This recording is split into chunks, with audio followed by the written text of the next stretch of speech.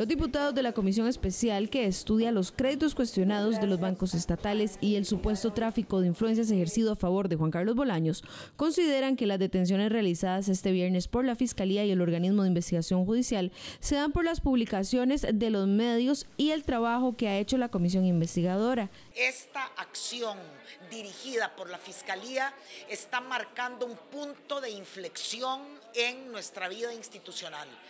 Eh, tenemos tres décadas muy largas de que se, haya, se ha vivido un clima de impunidad.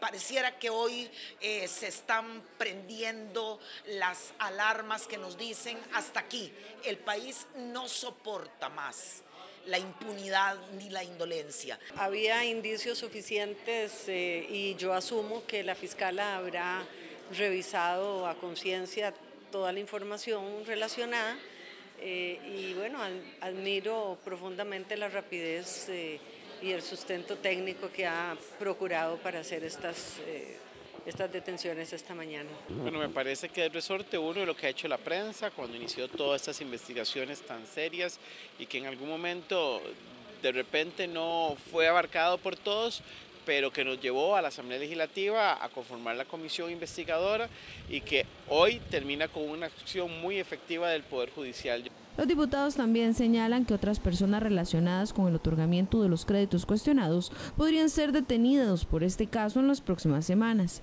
Creo que faltarán personas que van a, seguir esos mismos eh, pasos, desgraciadamente. Me, parece, no quisiera adelantar nombres, pero por la documentación que nosotros hemos manejado en la comisión, yo podría adelantar eh, que desgraciadamente con esas ocho personas hoy privadas de libertad no se está acabando con los involucrados en el caso. ¿De la Junta Directiva del Banco de Costa Rica? Me parece que sí.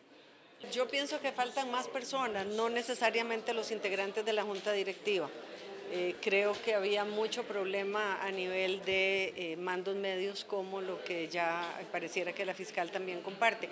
Sin embargo, pues evidentemente será ella la que, la que defina si hay más elementos para, para detener a otras personas. Tras el allanamiento de este viernes, ocho personas fueron detenidas. Aparte de Bolaños y Barrenechea, fueron capturados Gilbert Barrantes Campos, gerente corporativo de riesgo del BCR, y los funcionarios de la Junta de Crédito del Banco de Costa Rica, de apellido Corrales, Víquez Acuña Ramírez y Barrantes.